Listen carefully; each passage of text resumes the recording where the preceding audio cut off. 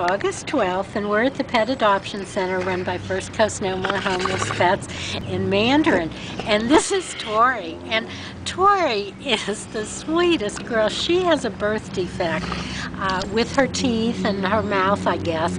So it gives her an unusual appearance. But she is a unique, beautiful dog. Tori is a female boxer mix. Uh, she's about three and a half years old.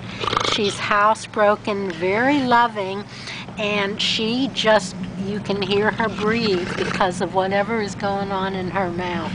But just such a nice girl. See her tail wagging and saying, I need a chance, come get me. Unfortunately, she was returned by her owner but we want someone to come take a look at Tori. And she is just beautiful inside and out in her own way.